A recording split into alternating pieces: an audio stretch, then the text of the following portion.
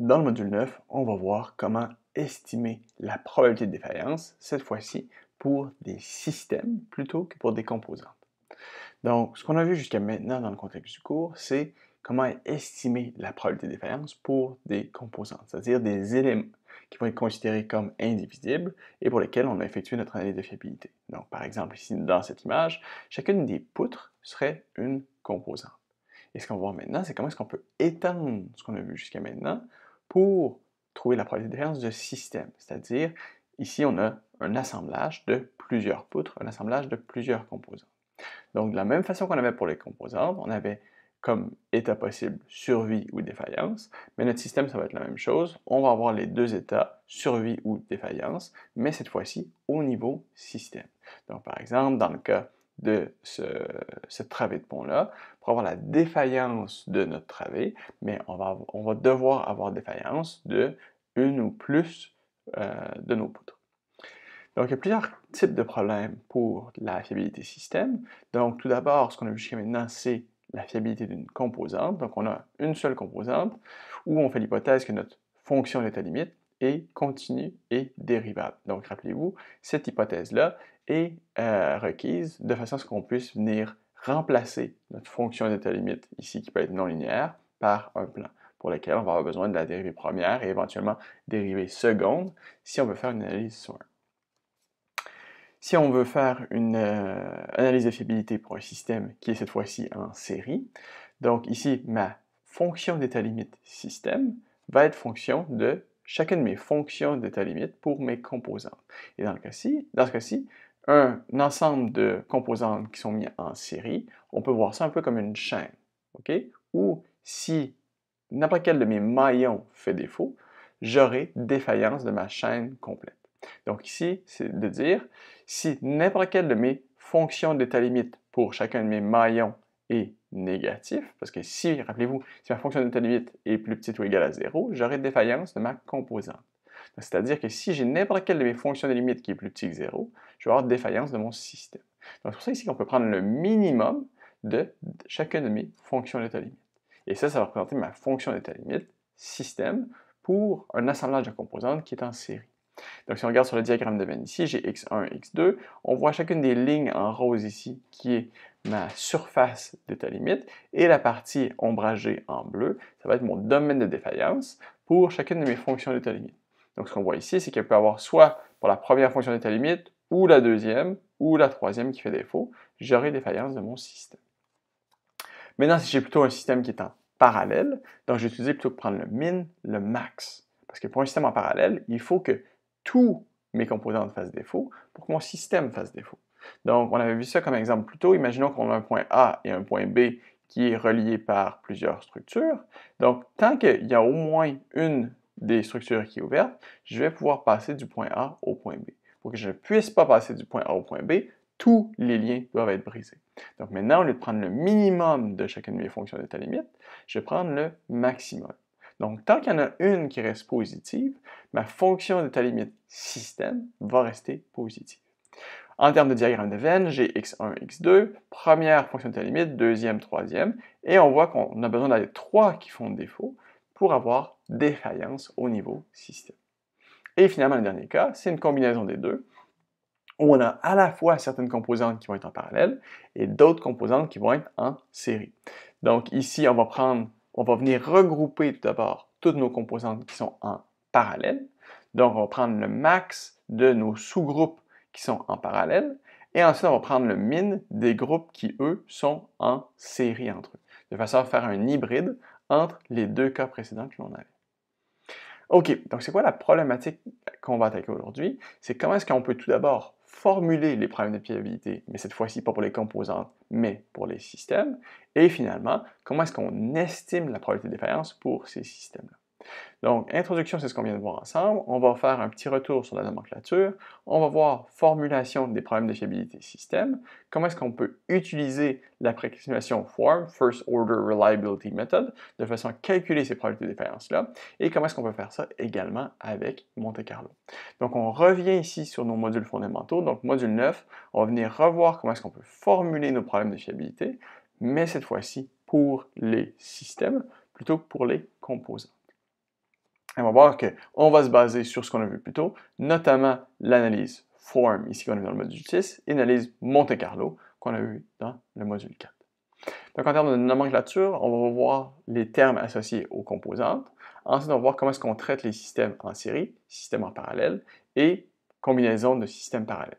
Et finalement, ça, ça va nous amener à la définition d'un nouveau concept qui est notre concept d'ensemble de survie qu'on va utiliser de façon à définir soit l'état de survie ou défaillance d'un système. Donc, si on commence avec les composantes, comme je vous le disais, ben, GDI, ça va être ma fonction d'état limite qui doit être continue et dérivable pour une seule composante. Donc, rappelez-vous, continue et dérivable, c'est de façon à ce qu'on puisse faire notre approximation analytique, soit form, soit sum. Donc, on va dire S, ça va être une variable indicatrice qui nous décrit l'état d'une composante. Donc, on va dire que SI peut prendre soit la valeur de 0 ou de 1. Ce n'est pas un intervalle, ce n'est pas une valeur entre 0 et 1, ce n'est pas comme une probabilité. C'est soit 0, j'ai défaillance, soit 1, j'ai survie. C'est-à-dire, ça correspond à l'événement g de x plus petit ou égal à 0 pour s égale à 0. Pour g de x plus grand que 0, survie, je vais avoir 1. Donc, j'ai la même chose. SI, ça va être ma variable individuelle pour une composante.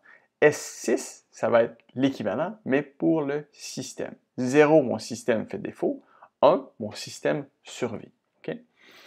Donc, si j'ai un système qui est, qui est composé d'un assemblage de composantes en série, donc mon SI va être égal à 0 pour mes composantes qui font défaut, SI est égal à 1 mes composantes qui survivent. Donc, qu'est-ce que je vais faire? Ma fonction d'état limite, comme on le disait, ça va être le minimum de chacun des g de x qui qui sont assemblés en série. Donc, si je veux représenter la même chose avec mes variables indicatrices euh, S, je peux dire que ma fonction indicatrice euh, S système va être égale à S, au produit des fonctions indicatrices pour chacune de mes composants. Donc, si par exemple j'en ai une dans le lot qui fait défaut, mais je vais avoir une dans mon lot qui va être égale à 0, le produit de m termes, s'il y en a un dans le groupe qui est égal à 0, mais je sais que l'ensemble, S système, va être égal à 0. Donc on peut soit représenter ça comme ceci, ou à partir de nos fonctions indicatrices. Donc ça, c'est équivalent à prendre le minimum de mon ensemble de valeurs indicatrices ici, S. Je peux faire la même chose pour des composantes qui sont, qui sont assemblées en parallèle. Donc, c'est de prendre ma fonction d'état limite, qui est le max de mes fonctions d'état limite, ou à partir de mes fonctions indicatrices, c'est de prendre 1 moins chacune de mes variables indicatrices pour chacune de mes composantes. Je vais prendre le produit de tout ça et je vais faire 1 moins. Donc ici, 1, rappelez-vous, au niveau système, c'est la survie. Donc si je veux avoir la survie, ça va être 1 moins, tout ce terme-là doit être égal à 0. Pour ce terme-là qui doit être égal à 0, je peux avoir, euh, ou plutôt si je veux avoir la défaillance, donc si je veux avoir S système qui est égal à 0, je vais avoir 1 moins, ce terme-là doit être égal à 1. Donc pour que ce terme-là soit égal à 1, ici j'ai 1 moins, ici, euh, S1. Donc ici, si j'ai 0, mais ça va me donner 1 moins 0, ça va me donner 1, ça va me le produit de terme à 1. Donc je vais avoir tous mes termes ici qui sont égaux à, euh, à 1.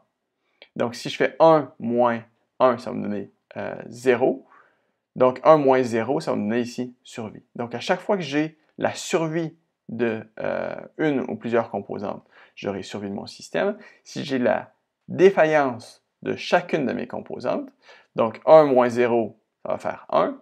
1, 1, 1, 1, 1. Là, j'aurai 0, j'aurai défaillance de mon système. Donc, c'est l'équivalent de faire le maximum de mes euh, variables indicatrices ici, euh, qui sont égales, comme je vous le disais précédemment, soit à 1, soit à 0. Parfait. De façon générale, qu'est-ce qu'on fait?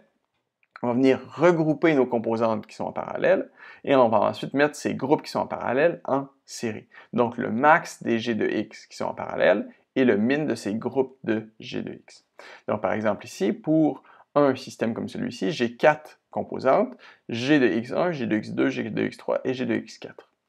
Donc ici, mon ensemble de survie, je vais avoir soit 1, 4, donc 1, 4, ou 2, 3, 4, donc 2, 3 et 4.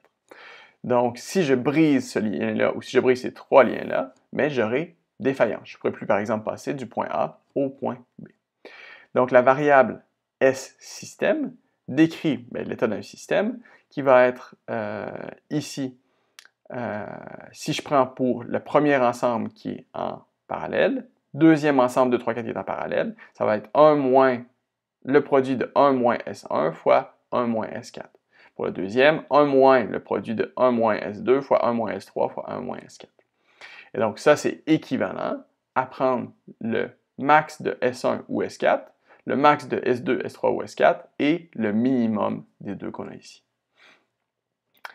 Donc, si on regarde un peu plus en détail le concept d'ensemble de survie, ça va être, on va recommencer par la lettre calligraphique C. Euh, pour l'anglais, un cut set. Ça représente l'ensemble de composantes pour lesquelles la défaillance simultanée va entraîner la défaillance du système. Donc, de façon plus spécifique, on pourrait décrire un ensemble de survie minimal. Donc là, ce qu'on vient rajouter, c'est simplement que cet ensemble-là est l'ensemble minimum qui va, euh, pour lequel la défaillance entraîne la défaillance du système. Et donc, dans ce cas-là, quand on dit on parle d'un ensemble de survie minimale, c'est toujours un ensemble de composantes qui vont être en parallèle. Parce qu'on parle de défaillance. Si la défaillance simultanée de ces composantes-là arrive, j'aurai la défaillance de mon système. Donc, quand on parle d'ensemble de survie, on parle toujours d'un système qui va être en parallèle. Et finalement, si on fait la distinction avec un ensemble de survie disjoint, on va parler d'ensembles de survie qui sont mutuellement exclusifs.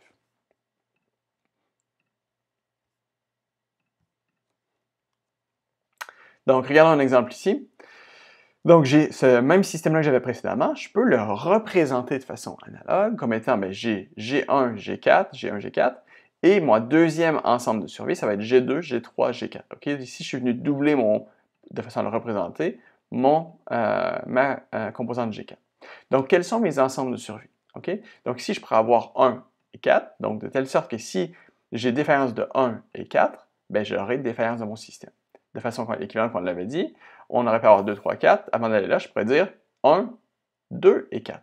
OK? Parce que 1 et 4 et 1, 2 et 4, les deux vont conduire à la défaillance du système. Je pourrais avoir 1, 3 et 4. Je pourrais avoir 2, 3 et 4, comme on l'avait dit précédemment. Et qu'est-ce que je peux avoir aussi? Mais l'ensemble des composantes, c'est-à-dire 1, 2, 3, 4. Donc, j'ai toutes les combinaisons possibles qui font partie de mes ensembles de survie. Maintenant, la distinction avec un ensemble de survie minimal, c'est qu'on doit restreindre au... On doit parler de composantes redondantes dans nos ensembles de survie. Donc ici, on en a simplement deux. J'ai 1, 4 et 2, 3, 4. Parce que si j'ajoute une composante, comme par exemple 1, 2, 3, 4, mais j'ai certaines composantes qui sont redondantes. Donc, c'est ce qu'on veut éliminer dans nos ensembles de survie minimum. Et finalement, ensemble de survie disjoint, c'est qu'on va ajouter de façon explicite le complément, donc c'est-à-dire la survie de euh, certaines composantes. Donc, par exemple, l'événement 1, 4 et la survie de 2, 3. 1, 2, 4 et la survie de 3. 1, 3, 4, la survie de 2. 2, 3, 4, la survie de 1. Et c'est tout. 1, 2, 3, 4, effectivement. Je n'ai pas besoin des compléments parce qu'il n'y en a pas. Mais celui-ci euh, fait partie de mon ensemble de survie de G OK. Donc, regardons maintenant à partir de ce qu'on vient de voir ici, comment est-ce qu'on peut utiliser ça de façon à venir décrire mathématiquement la euh, probabilité de défaillance pour des systèmes. Donc, on va faire ça à partir du concept d'ensemble de survie minimale qu'on vient de voir, la loi d'inclusion-exclusion qu'on a vu ensemble au module 0 lorsqu'on a révisé les notions de théorie de la probabilité, et on va, explorer à travers un exemple comment est-ce qu'on peut calculer la probabilité de défaillance du système pour, à partir de la loi inclusion-exclusion. Donc, encore une fois, la même chose, on a une variable indicatrice qui est égale à 0 dans le domaine de défaillance et 1 dans le domaine de survie. Ça, c'est au niveau de chacune de mes composantes. Ensuite, pour un ensemble de survie minimale, qui peut être fonction de x, l'ensemble des variables aléatoires comme on l'avait défini avant, euh, qui décrit euh, soit ma résistance, soit ma sollicitation. Donc ici, ce que je vais faire, c'est que pour un ensemble de survie minimale, on avait dit que c'est un, ensemble qui va être en parallèle, pour lequel on va avoir la défaillance simultanée de toutes les composantes. Donc ici, qu'est-ce que je vais faire? C'est l'équivalent de trouver le, ça, ici, mon ensemble de survie minimale, c'est l'équivalent du domaine, donc l'intersection de mes g de xi pour i, qui sont chacune de mes composantes, qui sont plus petits ou égales à 0. Si on veut venir représenter ça à l'aide des fonctions indicatrices, ça va être 1 moins le produit de 1 moins si, les variables indicatrices pour chacune de mes composantes. Et ça ici, ça représente qu'est-ce qui arrive pour un système qui serait en parallèle. Donc, je vous rappelle, la défaillance d'un ensemble de survie minimale va causer, par définition, la défaillance du système. Donc, regardons maintenant euh, pour les ensembles de survie minimaux, comment est-ce qu'on ramène ça à ma, ma, fonction indicatrice S système. Donc, on avait précédemment notre SI pour une composante, on a maintenant notre S6 pour un système. Donc, même nomenclature, 0 défaillance, 1 survie. Donc, mon S système, ça va être quoi? Ça va être l'intersection de mes fonctions d'état limite euh, pour mes ensembles de survie minimaux. Et ensuite, je vais faire l'union de ces euh, ensembles de, des, des, domaines de défaillance pour mes ensembles de survie minimaux qui, eux, sont traités comme des systèmes qui sont en euh, série. C'est-à-dire que je vais faire l'union parce qu'ils peuvent faire défaillance de façon unique ou de façon simultanée. Donc, à la fin, c'est de dire que je peux faire le produit sur mes variables S6 pour mes ensembles de survie minimaux. Donc, je vais faire le produit de 1 moins le produit de 1 moins SI. Ou, en A, ce que j'ai, c'est ma fonction indicatrice au niveau de chacune de mes composantes. En B, ce que j'ai ici, c'est le, le, transfert pour un ensemble de survie minimale, donc un système ou un sous-système en parallèle. Et en C, si je fais le produit de tout ça, ça va être ma fonction indicatrice pour un système en série. Donc, on peut utiliser cette nomenclature-là de façon à décrire en fonction de la survie ou de la défaillance de plusieurs composantes, est-ce que j'aurai survie ou défaillance de mon système? Donc, regardons le même exemple qu'on avait vu euh, précédemment. Donc, si dans le cas ici, j'ai combien d'ensembles de survie minimaux, on avait dit qu'on en avait deux les composantes 1 et 4 et les composantes 2, 3 et 4. Donc ici, si on veut exprimer à l'aide de ces relations-là, et pour k est égal à 2, parce que j'ai deux ensembles de survie minimaux, ça va être le 1 moins le produit de 1 moins S1 fois 1 moins S4, mon premier ensemble de survie minimale, et 1 moins le produit de 1 moins S2, 1 moins S3, 1 moins S4. Donc si je viens faire le développement des termes, ben, je peux obtenir la formulation suivante qui vient décrire en fonction des S qui sont égales à 1 ou 0, si j'ai défaillance ou survie de mon S-système. Donc ça, ça nous permet de passer de survie-défaillance des composantes à survie-défaillance du système pour tous les cas de combinaison possibles. Donc, dans le cas général, qu'est-ce qu'on veut faire? Donc, rappelez-vous pour le diagramme de Venn, on avait ici euh, des événements. Donc, j'ai l'événement 1, événement E2, événement E3. J'ai les événements pris 2 à 2, j'ai l'événement pris 3 à 3. Et nous, ce qu'on cherche à faire ici, pour une probabilité de défaillance système, c'est de trouver la probabilité définie pour l'union sur les événements où mes euh, ensembles de survie minimaux sont égales à 0, dans le cas qu'on utilise nos fonctions indicatrices.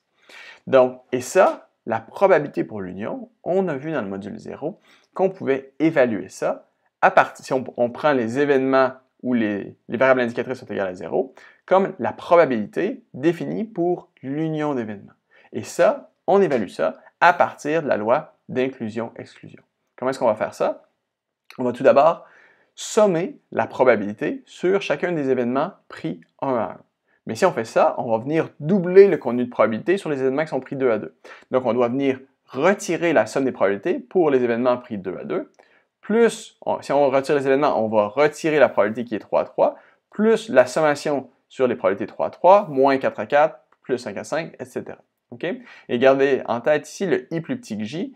Euh, ici, ce que ça indique, c'est qu'on va prendre les événements euh, pris en paire, mais on ne va pas permuter les indices. Donc, je ne vais pas prendre la probabilité sur E1, E2 et E2, E1. Je prends juste la paire ici, peu importe l'ordre de leur indice. Donc, et la force de ça, ou le, truc qu'on peut utiliser ici de façon à rendre ça gérable, c'est qu'on a vu que si on prenait que les premiers termes, donc si on fait la sommation des probabilités pour les événements pris 1 à 1, on va avoir une borne supérieure pour une probabilité. Si on vient retirer de ce terme-là tous les termes pris 2 à 2, j'ai maintenant une borne inférieure. J'additionne les termes 3 à 3 à une nouvelle borne supérieure et je vais osciller comme ça. Et ce qu'on va voir, c'est que très rapidement, on va venir qu'à avoir une très bonne approximation de notre probabilité, même si on tronque, admettons, après les termes pris 2 à 2. Pourquoi? Parce que plus on vient augmenter dans notre chaîne, plus la probabilité conjointe pour un grand nombre d'événements va être petite. Donc la contribution des termes avec des, probabilités pour les termes avec plusieurs événements vient de façon très rapidement négligeable. OK? Regardons ça à travers un exemple ici où j'ai un treillis composé de 10 membrures. Première étape, essayons de trouver quels sont les ensembles de survie minimaux. OK? De quelles coupures on va faire qui vont entraîner les, euh, la défaillance du système. Ici, on, cherche également des ensembles de survie minimaux, de telle sorte qu'on ne veut pas avoir de coupes redondantes qui ne sont pas nécessaires. Donc ici, qu'est-ce qu'on va avoir? On va avoir, par exemple, 7 et 9. Si je coupe 7 et 9, mais le treillis va tourner autour du point ici et il va avoir défaillance. Euh, par contre, si je coupe 7, donc si je coupe 7 ici, j'aurai ici un mécanisme qui est créé, comme j'ai un appui à rouleau ici, j'aurai rotation à partir de l'appui ici, rotation à partir d'ici et rotation à partir d'ici. Même chose que 7, 8, 9 et 10, j'aurai défaillance du système. Ensuite, dans la partie qui est la partie centrale ici, si je coupe n'importe quelle deux paires de barres, donc par exemple 1 et 2, ou 1 et 3, 1 et 4, 1 et 5, 1 et 6, ou 2, 3, 2, 4, 2, 5, 2, 6, ou 3, 4, 3, 5, 3, 6, ou finalement 4, 5, euh, 4, 6 et 5, 6. N'importe quelle paire de barres que je vais couper ici va conduire à un mécanisme qui va causer la défaillance de ma structure. Donc ça, ça correspond à l'ensemble l'ensemble des ensembles de survie minimaux. Donc, si on fait maintenant l'hypothèse que pour chacune de ces barres-là, la probabilité de défaillance est de 1%. Et on fait l'hypothèse que la probabilité de défaillance pour chacune de nos euh, barres est indépendante les unes des autres. Ou plutôt, la variable qui décrit la défaillance ou la survie est indépendante. Donc, à la fin, on veut calculer la probabilité de défaillance système pour cette revue-là comme la probabilité de l'union de nos ensembles de survie minimaux. Donc ici, qu'est-ce qu'on va faire? Pour la probabilité de l'union sur cet ensemble de survie minimaux, qui sont tous en série, parce que je peux avoir soit un qui fait défaut ou l'autre. Donc ça peut être 7 qui fait défaut, ça pourrait être 1, 3, par exemple. Donc qu'est-ce qu'on fait? On va faire la, somme des probabilités pour l'ensemble des événements. Mais ici, gardez en tête, les événements, ce n'est pas la défaillance des barres prises de façon individuelle c'est la défaillance de mes ensembles de survie minimaux. Donc, la probabilité de défaillance de mon premier événement, c'est 1%. Plus la probabilité de défaillance de mon deuxième événement, qui est aussi 1%, plus 1%, plus 1%. Plus la probabilité de défaillance pour mon ensemble 5, qui est de façon simultanée la défaillance de la barre 1 et de la barre 2. Donc, ça, c'est quoi? Comme j'ai deux barres et la probabilité de défaillance est indépendante, ça va être le produit des deux probabilités de défaillance c'est-à-dire 1% fois 1%. Et c'est la même chose pour toutes les barres qui sont prises 2 à 2. Parce que là, ici, on regarde à la probabilité de défaillance conjointe de mes deux barres. Donc, je fais la sommation sur toutes ces cas-là. Ça me donne 0,415. Moins la sommation pour tous les événements pris 2 à 2. Donc, 7 et 8, 7 et 9, 7 et 10. Donc, dans tous les cas, la probabilité pour les deux ici, c'est le produit de 1% fois 1%. OK? Ensuite, 7 et 1, 2. Donc, dans le cas ici, c'est le produit, ça va être 1% fois 1% fois 1%. OK? Parce que je prends tous les événements qui sont pris 2 à 2. Et on voit ici la euh, probabilité pour euh, cette somme-là des termes qui sont pris 2 à 2. Je suis à 6.6 fois 10.4. Donc, déjà, significativement plus petit que la somme des probabilités pris 1 à 1. Si je fais la même chose, mais cette fois-ci pris 3 à 3, je vais avoir quelque chose qui est à 10 puissance moins 6. Et si j'ajoute les termes pris 4 à 4, mais je suis virtuellement à 0. Donc, la réponse finale, si je fais de façon explicite le calcul pour tous les termes, je vais avoir 0,0408. Et ici, ce qu'on peut voir, c'est que même si j'arrête après la sommation des premiers termes, j'ai déjà une approximation qui est pas mal du tout. Si j'arrête après les deuxièmes termes, mais c'est déjà satisfaisant. Donc, c'est ce qu'on va faire en pratique. Donc, en pratique, on va absolument tronquer après la sommation des termes pris 2 à 2 parce que la contribution des termes supplémentaires va être très très faible et va être souvent négligeable. Donc, regardons maintenant pour un cas spécial, euh, de façon à venir se donner un sens physique, qu'est-ce qui arrive si j'ai des composantes qui sont en parallèle versus si j'ai des composantes qui sont en série? Comment est-ce que ça va venir affecter ma probabilité de défaillance système? Donc ici, on va euh, décrire la probabilité de défaillance système comme la probabilité que S6 est égal à 0. Ça, c'est au niveau système, où j'ai la même chose au niveau composante, mais où SI, c'est ma, ma fonction indicatrice niveau composante. Donc, si je veux représenter ma probabilité que S6 est égal à 0, donc ça veut dire ma probabilité de défaillance, en fait, ça ici, ça représente au complément de l'espérance mathématique de ma variable aléatoire S, qui peut prendre soit la valeur de 1 ou 0 pour système. Pourquoi? Si on représente S, ma variable aléatoire, qui peut prendre des valeurs de réalisation qui, qui sont soit 0 ou 1, l'espérance mathématique de cette variable aléatoire S, ça va être la somme pondérée des valeurs possibles fois les probabilités, soit 0 fois probabilité de S égale à 0, plus 1 fois probabilité de S égale à 1. Donc ça ici, c'est égal finalement à probabilité de S égale à 1. Donc l'espérance mathématique de ma variable indicatrice, c'est la probabilité que S est égal à 1. Donc si j'utilise ça, je peux venir définir la probabilité de défaillance en série pour euh, la probabilité de défaillance système pour un assemblage de composantes en série. Donc pour ça, je vais dire ça va être 1 moins la probabilité de l'espérance mathématique de mes variables aléatoires représentant l'état de chacune de mes composantes. Et ça, c'est équivalent à 1 moins le produit de 1 moins PF. Donc, 1, PF, c'est ma probabilité de défaillance pour ma composante. 1 moins PF, c'est quoi? C'est la probabilité de survie. Donc, qu'est-ce que je vais faire? Je vais trouver, en faisant le produit des probabilités de survie, l'intersection des probabilités de survie. OK? Quelle est la probabilité que toutes mes composantes survivent? Donc, ça va faire le produit de 1 moins mes probabilités de survie. Et ensuite, ça, ça va être le domaine qui représente la survie simultanée de toutes mes composantes. Moi, ce que je cherche, c'est ma probabilité de défaillance système en série, c'est-à-dire le complément de ceci, 1 moins l'intersection de la probabilité que toutes mes composantes survivent.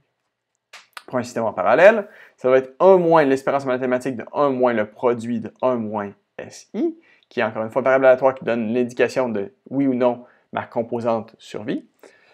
Donc, euh, ça ici, ça me donne simplement le produit des PF. Comme j'ai un système en parallèle, je veux savoir quelle est la probabilité conjointe que toutes mes composantes, euh, que n'importe quelle des composantes fait défaut. Donc, ici, on peut simplement faire le produit des probabilités de défaillance. Et là, encore une fois, garde en tête, ça, c'est pour des composantes pour lesquelles la survie ou la défaillance est indépendante. Et de façon générale, qu'est-ce qu'on va faire? Qu'est-ce qu'on va faire? Ça va être le 1 moins le produit sur les probabilités de défaillance pour mes composantes, mes ensembles de survie minimaux. Donc ça, c'est un système en parallèle. Et je fais ici comme si j'avais un système en série. Donc ça ici, ça va être de façon générale pour calculer ma probabilité de défaillance système pour un assemblage de composantes indépendantes qui sont soit en série ou en parallèle. Donc si on met ça en pratique, on va avoir un ensemble de composantes où la probabilité de défaillance ou l'événement de défaillance ou de survie est indépendant d'une composante à l'autre, et la probabilité de défaillance est égale d'une composante à l'autre. Donc, je veux savoir quelle va être ma probabilité de défaillance système selon si je suis en série ou en parallèle. Donc, en série, ça va se résumer à ma probabilité de défaillance système est 1 moins 1 moins la probabilité de défaillance composante, tout ça puissance k, où k c'est mon nombre de composantes. Et ce qu'on se rend compte ici, c'est de par cette équation, la probabilité de défaillance système pour un assemblage en série va être beaucoup, beaucoup plus grand que ma probabilité de défaillance individuelle pour mes composantes. Et ça, ça va augmenter d'autant plus qu'on ajoute de composantes bancaires. Au contraire, si j'ai un système qui est en parallèle, ma probabilité de défaillance système, ça va être probabilité de défaillance puissance k.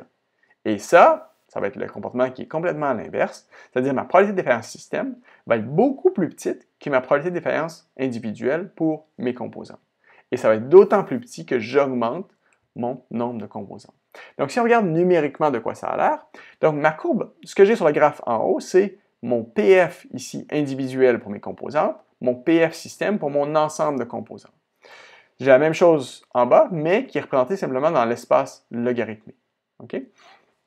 En vert, ce que j'ai, c'est, imaginons qu'on a K est égal à 1, un système qui est fait d'une seule composante.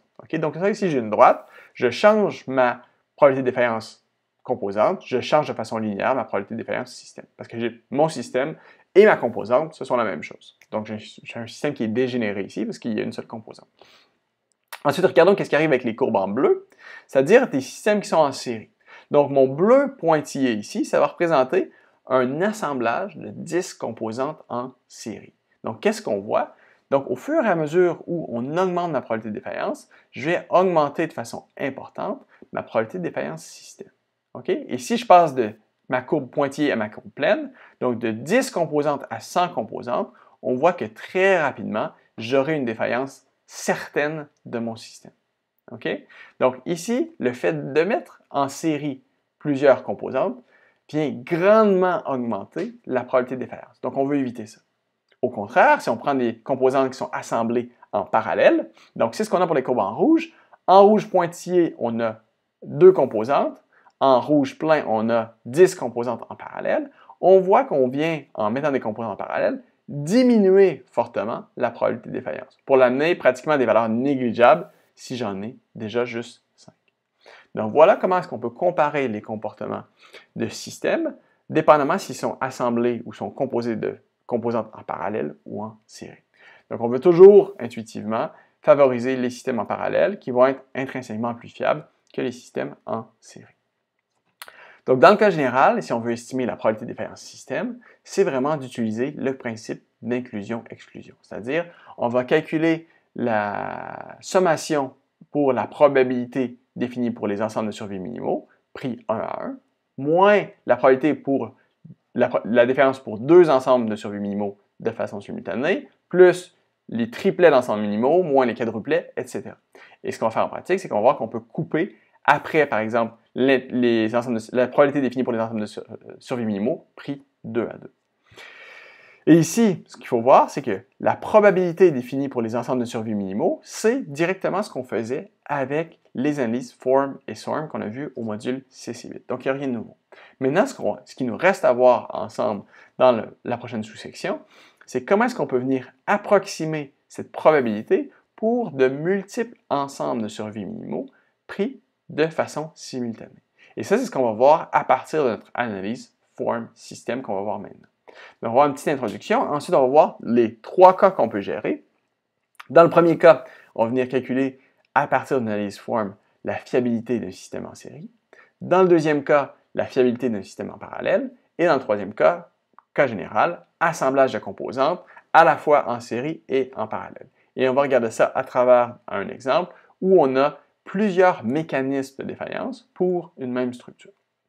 Donc, rappelez-vous, premier cas, on a la fiabilité d'un système euh, pour lequel les composantes sont mises en série. Deuxième cas, les composantes sont mises en parallèle. Troisième cas, une combinaison de composantes qui sont en parallèle et d'autres sous-ensembles qui sont en série. Donc, petit rappel de ce qu'on a vu dans le module 6 avec les analyses form. Ce qu'on vient faire, le principe général, on vient linéariser notre fonction d'état limite dans l'espace normal centré réduit pour lesquels c'est un domaine multivarié, pour lequel l'espérance mathématique est zéro, la matrice de covariance est une matrice de covariance qui est identité. Et pourquoi est-ce qu'on veut faire ça? Parce qu'on aura la rotation, euh, la symétrie rotationnelle dans ce domaine-là, ce qui fait qu'on pourra définir l'intégrale sur le domaine défini par le plan en turquoise ici, comme étant simplement l'évaluation de phi, mon CDF normal centré réduit unidimensionnel, évalué à moins bêta, ce qui correspond à la distance entre l'origine et le plan. Donc, pour faire ça, on vient remplacer notre fonction G de U, notre euh, fonction d'état limite qui est positive dans le domaine de survie, négative dans le domaine de défaillance, qui est définie dans le domaine ici normal centré réduit. On va venir remplacer cette fonction non linéaire par un plan.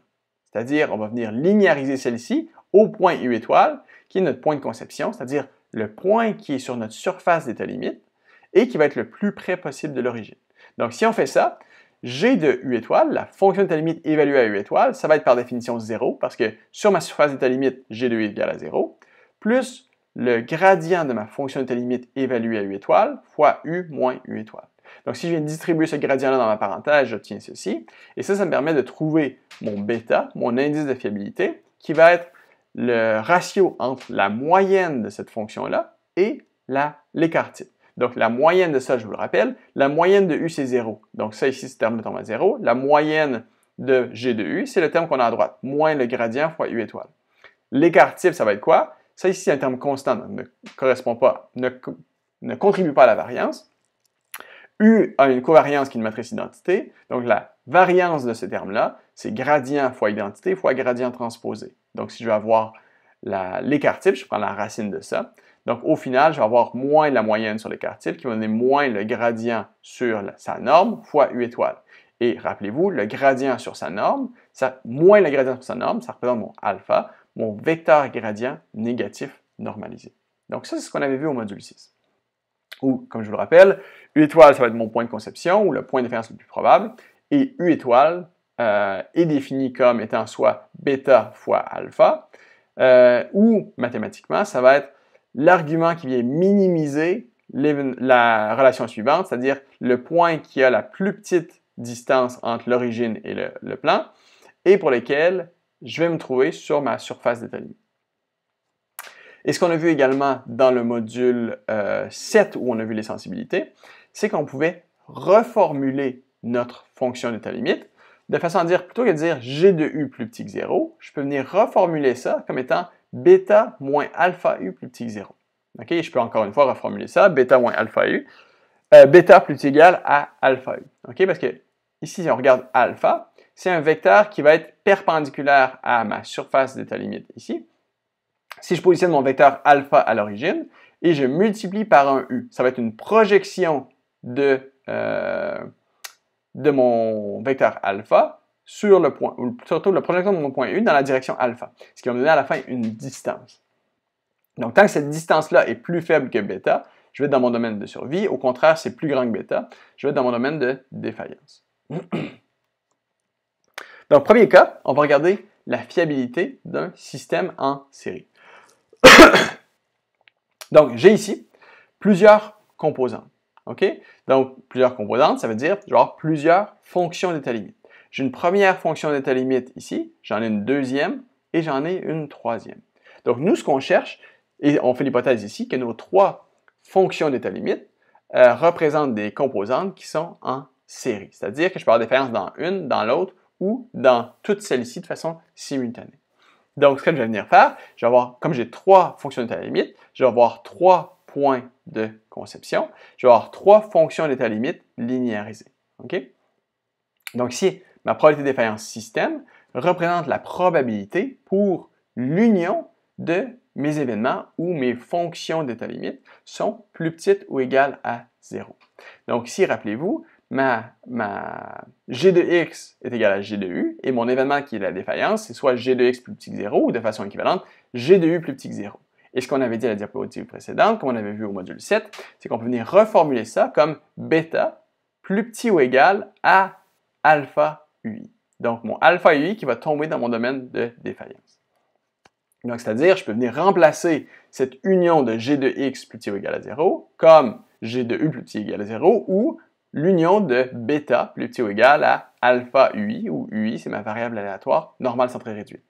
Donc, si je viens représenter le, produit alpha ui comme vi, je viens réécrire ceci, et là, ce que je vais venir faire, c'est je vais venir trouver ma probabilité à partir du complément. Donc, on sait que la probabilité définie sur tout mon espace normal centré réduit, donc si j'ai intégré ma loi normale centrée réduite sur tous les u de moins l'infini à plus l'infini, ça va donner 1. Donc, nous, ce qu'on cherche, c'est la probabilité définie sur cette région qui est définie par l'air ombragé ici. Mais ce que je peux faire, c'est qu'au lieu de trouver l'air, la probabilité sur l'air qui est définie ici, je peux la trouver à partir de son complément. Donc, je peux faire 1 moins la probabilité sur l'air qui est en blanc ici. Et c'est ce qu'on fait. Donc, 1 moins la probabilité définie par, plutôt que l'union sur tout le domaine qui est ombragé, 1 moins la probabilité sur l'intersection de la partie en blanc ici. Donc, je viens renverser mon inégalité ici. C'est plutôt VI plus petit que B. Et ça, la beauté de ça, c'est que je peux l'évaluer simplement dans l'espace normal centré réduit en disant que ça va être 1 moins le CDF cette fois-ci multivarié, CDF normal centré réduit multivarié, évalué pour mon vecteur bêta, c'est-à-dire les bêta i pour chacune de mes composantes, et ayant comme matrice de covariance R alpha, qui va être, euh, qui va être une matrice ici de, de, corrélation, où chacun des termes dans R alpha, ça va être le produit de mes deux vecteurs pour mes vecteurs gradients négatifs normalisés. Donc, si je prends sur la diagonale de cette matrice R, ça va être le produit d'un vecteur avec lui-même. Comme ce sont des vecteurs qui sont unitaires, j'aurai toujours 1 sur ma diagonale. C'est une matrice qui va être symétrique. Et pour mes termes hors diagonaux, qu'est-ce que j'aurai? J'aurai le produit entre, par exemple, ce vecteur-ci et ce vecteur-là. Ce qui va venir mesurer la dépendance entre mes domaines de défaillance. Donc, on va venir regarder ceci. Donc, premier cas, là, on regarde pour l'instant les systèmes qui sont en série. Donc, pour lesquels on cherche l'union des domaines de défaillance. Donc, j'ai ici deux B1, donc B1, B2 qui sont égaux. Donc, correspondant à ce B, j'ai mis des probabilités de défaillance correspondantes de 0.16 pour chacune de mes euh, fonctions d'état limite.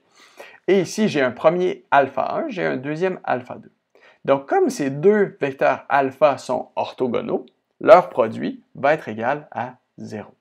Donc, si le produit est égal à 0, ma matrice R alpha va être égale à une matrice identité, parce que les termes sur la diagonale principale vont être égales à 1, parce que alpha 1 fois alpha 1 ben, va être égal à 1, mais le produit est égal à 0. Donc, j'ai une matrice identité. Si j'évalue mon CDF, comme on a ici, bivarié, donc ayant comme moyen euh, évalué à bêta, bêta, donc 1, 1, ayant comme matrice de covariance euh, une matrice identité, j'aurai ceci. Donc, j'ai le CDF marginal pour V2, CDF marginal pour V1.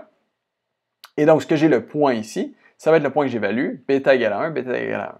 Et donc, ma probabilité de défaillance composante, c'était 0.16. Ma probabilité de défaillance système, c'est de 0.29. Donc, je suis venu augmenter ma probabilité de défaillance, mais ce qu'on voit, c'est qu'on a tenu compte du fait qu'on a tout ce domaine de défaillance avec incluant un certain recoupement ici.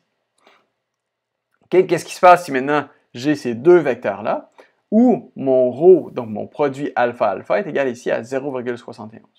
On voit qu'on a une diminution de notre probabilité de défaillance système.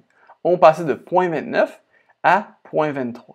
Pourquoi? Parce qu'on a un plus grand recoupement dans le domaine de défaillance. Si on vient pousser ça à l'extrême, j'ai mes deux vecteurs gradient négatifs normalisés qui sont pratiquement collinéaires. Dans un cas comme celui-ci, on a un chevauchement qui est pratiquement parfait entre mes deux domaines de défaillance. C'est-à-dire que ma probabilité de défaillance système va être égale à ma probabilité de défaillance composante. Pourquoi? Parce qu'à chaque fois qu'une composante fait défaut, l'autre fait défaut. Quand une survit, l'autre survit. Donc, il n'y a pas de différence entre la probabilité de défaillance système et la probabilité de défaillance composante. On peut aller chercher le cas qui est à l'opposé de celui-ci. J'ai mes deux domaines qui sont pratiquement disjoints. Donc, dans un cas comme celui-ci, mon coefficient de corrélation pour ma R alpha alpha va être de moins 1 pratiquement. Donc, si c'est ce cas-ci, je vais venir simplement doubler ma probabilité de défaillance.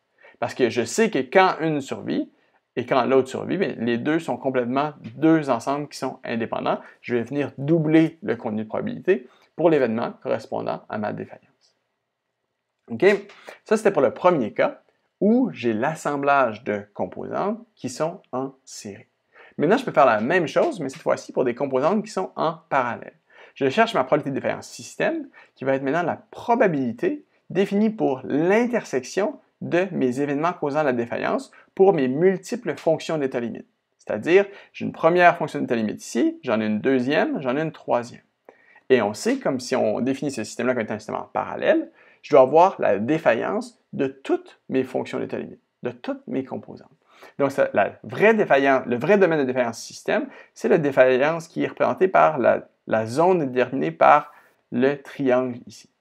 Donc, ce qu'on va faire avec une analyse form, c'est qu'on va venir linéariser ces fonctions de limite et se trouver ici une fonction ou un domaine de défaillance système. OK? Donc, pour approximer cette probabilité de défaillance système, je peux venir représenter ça comme on l'avait fait précédemment, comme la probabilité définie pour l'intersection plutôt que G de X, c'est équivalent à G de U. G de U est équivalent à bêta i, mon indice de fiabilité pour chacune de mes composantes, plus petit ou égal à alpha i ui. Donc ça ici, on remplace mon alpha i ui par ma variable aléatoire vi. Et ce qu'on peut faire, c'est qu'on peut dire qu'on peut remplacer ceci, plutôt que de dire bêta plus petit ou égal à vi, on peut dire vi plus petit ou égal à moins bêta. Parce que si on a notre variable ici qui représente mon vi, donc je peux dire que la probabilité ici, dans la borne supérieure de ma queue, c'est-à-dire que bêta plus petit ou égal à VI, c'est équivalent à VI plus petit ou égal à moins bêta. Donc les deux représentent de façon euh, équivalente le même contenu de probabilité. Et ça ici, on peut venir calculer ça de façon analytique comme étant le CDF normal centré réduit multivarié, évalué pour mon vecteur moins bêta et ayant comme matrice de covariance ma matrice R alpha ou bêta, encore une fois, je vous le rappelle, c'est la même chose qu'on avait dans le cas en série. Ça va être mon vecteur de bêta pour chacune de mes composantes. Et R alpha, ça va être l'équivalent de matrice de corrélation de covariance, où sur ma diagonale principale, j'aurai toujours 1, parce que c'est le produit des vecteurs alpha. Un vecteur avec lui-même, le produit va donner 1. Et pour les termes hors diagonaux, ça va être matrice qui est symétrique. Les termes hors diagonaux, ça va être le produit de mes euh, vecteurs alpha, qui vont me donner le recoupement, qui va quantifier le recoupement entre mes domaines de défaillance. Mais ici, ce qu'il faut garder en tête, c'est que le fait qu'on vient linéariser nos fonctions d'état limite au point de conception qu'on a ici est problématique. Qu'est-ce qu'il faut faire dans ce cas-là? Il faut euh, voir que si je viens linéariser chacune de mes fonctions d'état limite à mes points de conception, mais en fait, la défaillance système n'arrivera pas nécessairement près de la défaillance des composants. Parce que la défaillance système fait intervenir l'intersection de plusieurs événements. Donc, si je viens linéariser ici, ici et ici, ce qu'on voit, c'est que mon domaine de défaillance système peut être une mauvaise représentation du domaine réel de défaillance système. Pourquoi? Parce que je suis venu minimiser l'erreur d'approximation auprès de mes points de conception. Mais ces points de conception-là qui sont au niveau composant ne sont pas nécessairement bien représentatifs du point de conception système. Donc, si je veux avoir un point de conception conjoint qui vient minimiser l'erreur d'approximation de mon système, de la défense de mon système, je devrais avoir ce point de conception. C'est-à-dire le point qui va être sur mes surfaces d'état limite système et qui va être le plus près de l'origine. Donc, au lieu d'avoir plusieurs points de conception ici qui viennent minimiser la norme, c'est-à-dire la distance de l'origine et le plan, et qui vont être sur nos surfaces d'état limite qui sont prises une à une, on vient trouver un seul U qui celui-ci vient minimiser la norme entre l'origine et mon domaine de défaillance conjoint, de telle sorte que toutes mes fonctions d'état limite sont, égales à 0, sont plus petites ou égales à 0. Mais si je prends ce point-là, je vais venir minimiser euh, mon erreur d'approximation pour ma linéarisation ici. Donc, j'aurai une moins grande erreur d'approximation en faisant ceci qu'en faisant ceci. Et autre option qui s'offre à nous, c'est de dire que on va faire une approche en deux étapes. On va commencer en disant, je vais faire une première linéarisation ici à chacune de mes fonctions d'état limite. Et ensuite, ce que je vais trouver, c'est que je vais trouver l'intersection de ces courbes-là, de, plutôt de ces lignes-là ou de ces plans-là, qui se trouvent dans mon domaine de défaillance. Et ce que je vais faire, c'est que je vais utiliser ceci comme étant mon point de conception conjoint qui va être linéarisé. Et ensuite, ce que je vais faire, je vais relinéariser chacune de mes fonctions d'état limite, mais en utilisant ce point-là de linéarisation. Donc, c'est-à-dire mon point U étoile, ça va être un seul point conjoint qui vient être le plus près possible de l'origine et pour lesquels j'ai l'intersection de tous les BI moins alpha UI est, plus petit ou égal à 0. Donc, ici, si on vient résumer par rapport à ça, euh, donc je vais venir relinéariser et je vais venir une nouvelle approximation avec ces lignes bleues foncées de mon domaine qui ne sera pas aussi bon qu'avec un vrai point de conception optimal, mais qui va être meilleur qu'avec mon point de conception mes points de conception dissociés initialement. Donc, ce qu'il faut garder en tête, c'est que si on fait, on prend les points de conception de façon dissociée, ça peut, dans plusieurs cas, mener à une approximation qui va être de mauvaise qualité.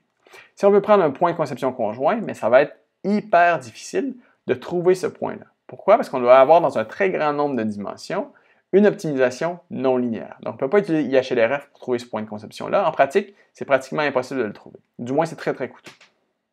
Donc, ce qui est une approche qui est euh, adéquate en termes de précision et de temps de calcul, ça va être cette approche en deux étapes-là, qui va nous permettre de faire une première étape où on linéarise nos fonctions d'étape limite de façon individuelle et on va trouver l'intersection de plans et c'est mathématiquement beaucoup plus facile et on peut le faire de façon exacte, trouver l'intersection de ces plans-là qui tombent dans mon domaine de défaillance. Donc, de façon générale, comment est-ce qu'on fait si on a des systèmes qui sont une combinaison de parties qui sont en en parallèle et d'autres qui sont en série? Donc, notre probabilité de défaillance système, ça va être la probabilité définie pour l'union de tous nos ensembles de survie minimaux qui sont, eux, en série, où j'ai l'intersection de toutes les composantes intérieures de mes ensembles de survie minimaux qui, eux, sont en parallèle. Donc, comment est-ce qu'on va faire ça? On va faire avec la loi d'inclusion-exclusion la sommation sur la probabilité de toutes mes euh, fonctions de limite qui sont dans mes ensembles de survie euh, minimaux plutôt de toutes mes composantes qui sont dans l'ensemble de survie minimaux, moins la probabilité sur les paires, plus la probabilité sur les triplets.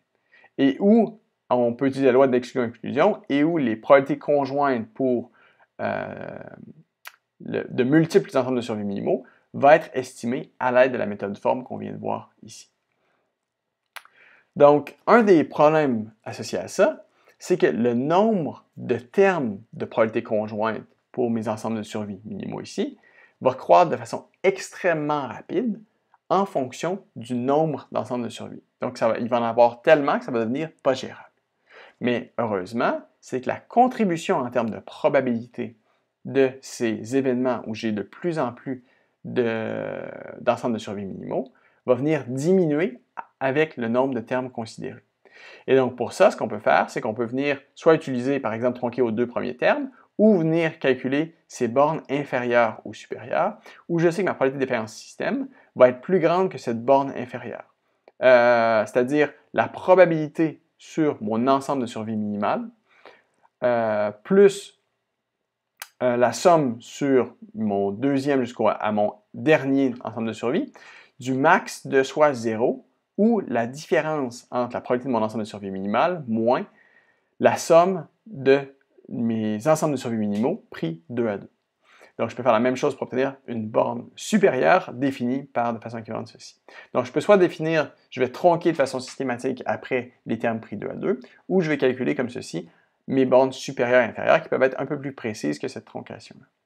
Donc, si on met ça en pratique avec cet exemple-là, on a un cadre rigide où j'ai la capacité plastique de mes joints M1, M2, M3, M4 et M5.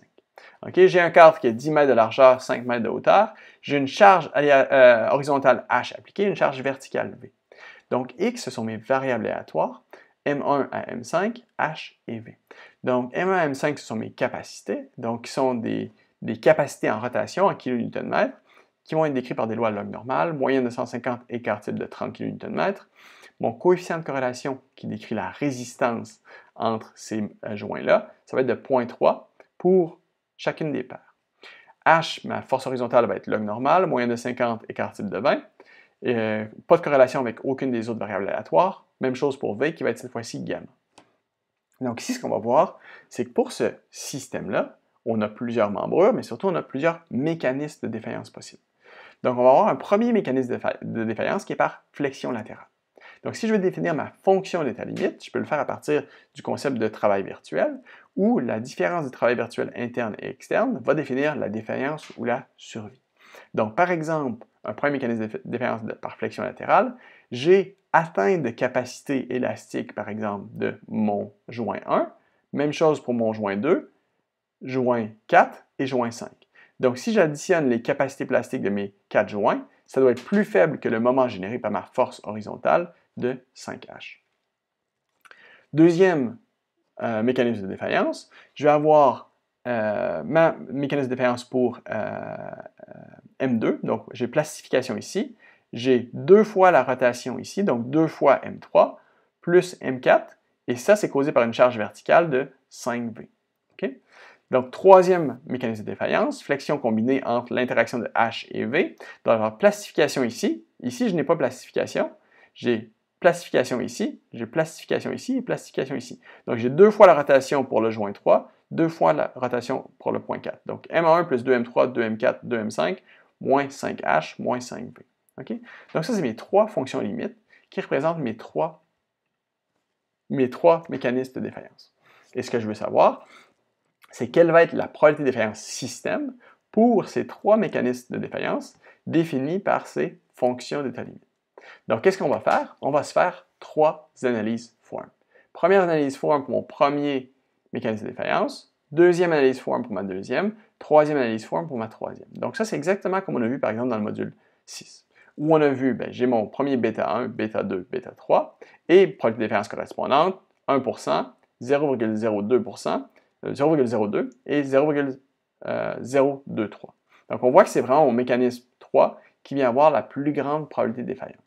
Mais là, ici, ce qu'il faut voir, c'est qu'on va avoir la probabilité de défaillance pour les trois. Donc, on doit considérer que je peux avoir soit défaillance par rapport à celui-ci, celui-ci ou celui-ci. Mais comme les trois font intervenir les mêmes joints, mais il faut voir quelle pourrait être la probabilité conjointe de défaillance de ces mécanismes-là, ou la probabilité d'occurrence conjointe de ces mécanismes. -là. Et de façon à, à, venir quantifier ça, on a besoin de notre vecteur alpha. Donc ça, c'est notre vecteur alpha pour mon premier mécanisme de défaillance, deuxième et troisième. Donc si on calcule notre matrice R alpha, qui va venir représenter la dépendance entre nos mécanismes de défaillance, donc ici, euh, j'ai une matrice 3 par 3 parce que j'ai trois mécanismes.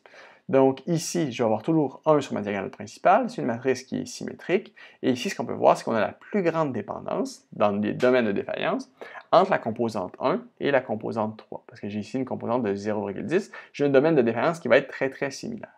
Donc, pour trouver ma probabilité de défaillance en série, parce que je peux avoir soit mécanisme 1 ou mécanisme 2 ou mécanisme 3 qui survient, donc c'est un système qui est en série, je peux utiliser ma probabilité de défaillance form comme étant 1 moins le CDF normal réduit en trois dimensions, évalué pour mon vecteur de bêta, donc mon bêta 1, bêta 2, bêta 3 que j'avais ici, et comme matrice de covariance comme étant le R alpha que j'aurais calculé ici.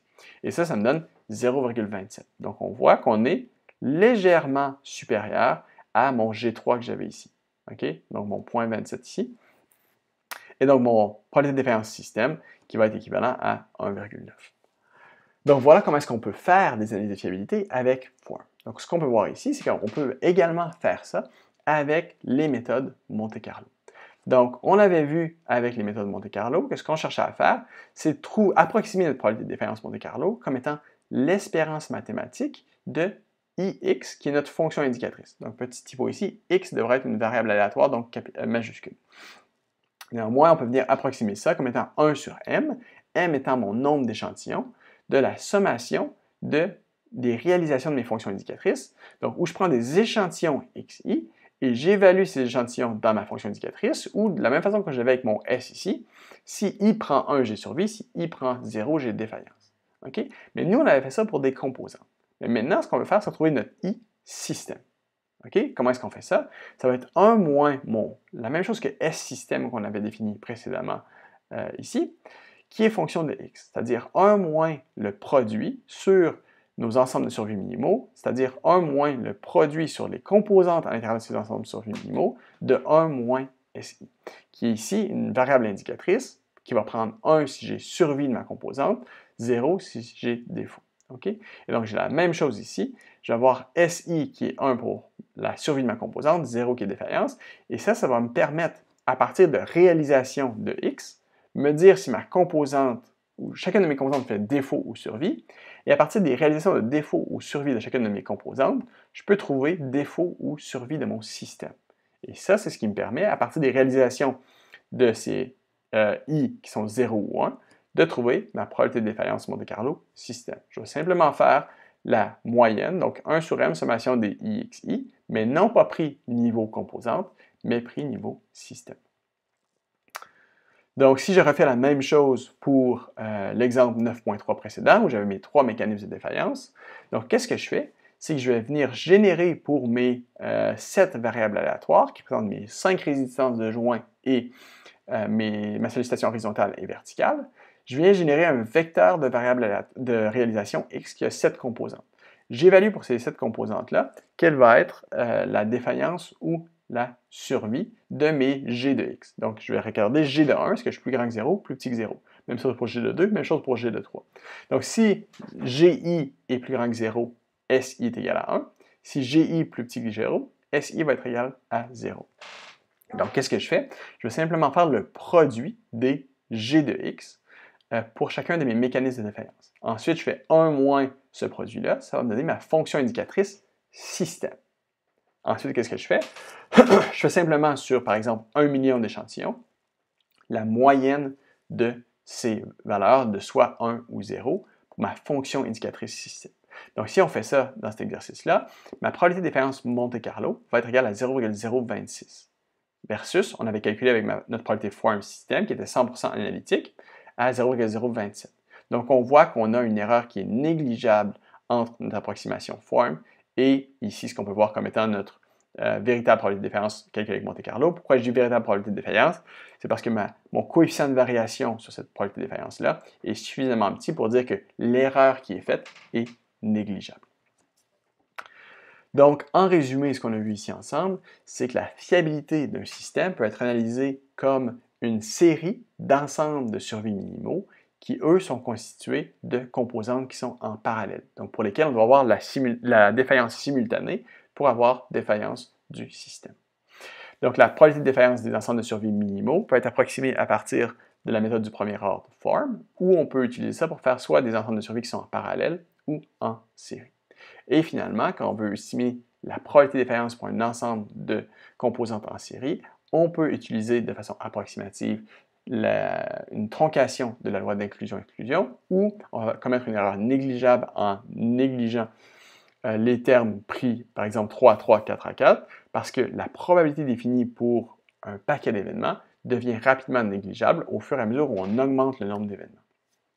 Et finalement, euh, quand on veut faire l'approximation form, on peut faire celle-ci à partir des analyses qu'on aura déjà faites form, prises pour chacune de nos fonctions d'état limite. Donc, on va avoir un bêta pour chacune des fonctions d'état limite, et on va calculer le recoupement entre les domaines de défaillance à partir d'une matrice R alpha, où cette matrice R alpha va être 1 sur la diagonale principale et va avoir le produit alpha alpha euh, transposé pour chacune des paires de euh, vecteurs alpha pour les autres termes. Donc, pour un premier cas où j'ai un système qui est en série, ça va faire 1 moins mon CDF multivarié évalué pour bêta et méthode de covariance R alpha. Pour un système en parallèle, mon CDF multivarié évalué pour moins bêta avec ma matrice R alpha. Et je peux faire le cas de fiabilité euh, système en utilisant ici l'intersection sur mes euh, fonctions d'état limite et l'union pour chacune de mes fonctions d'état limite. Et finalement, de façon analogue, je peux vérifier mes résultats avec Monte Carlo en euh, établissant euh, une fonction indicatrice système qui va être définie comme étant à partir de mes variables S système pour chacune de mes composantes et la relation suivante, le résultat de mes réalisations pour mes fonctions indicatrices. Donc, je génère des réalisations pour X, j'évalue pour mes composantes ce que j'ai survie défaillance, et à partir de la relation suivante, ça me dit pour la défaillance ou la survie de chacune de mes composantes, est-ce que j'ai survie ou défaillance de mon système? Donc, à partir de chacun de ces 1 ou 0 qui auront été réalisés, je prends la moyenne, je vais trouver ma probabilité de défaillance système.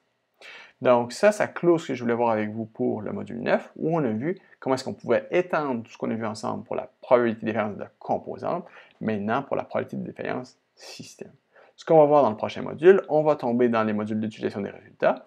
Comment est-ce qu'on peut gérer les incertitudes aléatoires et épistémiques, c'est-à-dire qu'est-ce qui se passe si on ne connaît pas exactement les valeurs de paramètres qu'on va utiliser pour nos analyses de fiabilité? Je ne connais pas exactement les paramètres qui viennent définir les densités de probabilité conjointes pour mes variables aléatoires.